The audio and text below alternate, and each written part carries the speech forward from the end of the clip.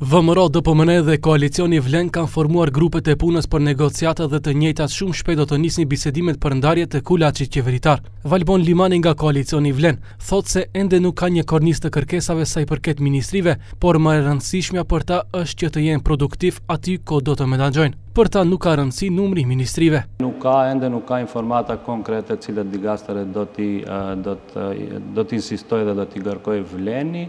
Besoj se atëherë kur do të fillojë grupi punues, më do ta kemi atë kornizën e kërkesave tona edhe rreth ministrive, po edhe rreth eshellonit të dytë në qeveri. Sërish do ta përsëris, ne qëllimi ynë nuk është numri i ministrive, por është realizimi i të gjithë punëve të cilat kanë të bëjnë me këto ministri. Me këtë sikur po paralajmëroni që do kemi më pak ministri si përfaqësues shqiptarë në qeveri, kur thoni që numri nuk është me rëndësi. Nuk e di se çka do të ndodhë, mund të ndodhë dhe ajo të ketë një, dy ma pak, mirëpo prapë do ta përsëris se qëllimi asaj është të realizohen të gjithë synimet dhe programet të cilat kanë të bëjnë me ato ministri, Por a është edhe posti i kryeparlamentarit në tavolinën e bisedimeve mes VMRO dhe Vlen? A është kryeparlamentari në tavolinë të bisedimeve? Kjo po, më intereson. Është. Është. është. Po.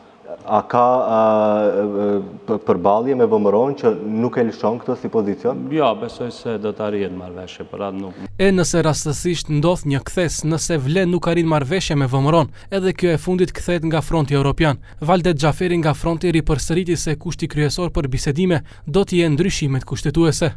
Pjesë e kushtit kryesor për bisedimet për qeverinë janë. në radhë të parë ndryshimet kushtetuese, si dhe ruajtja e kursit të vendit drejt Bashkimit Evropian. Dhe në një moment kur VMRO DPMNE-ja nuk do, s'don të dëgjojë për këtë, domethënë nuk mund të presim ndonjë kthim të papritur, siç u pyeta. Për situatat të cilat mund të ndodhin nesër, Do të flasim sigurisht për arsye se pyetja është hipotetike.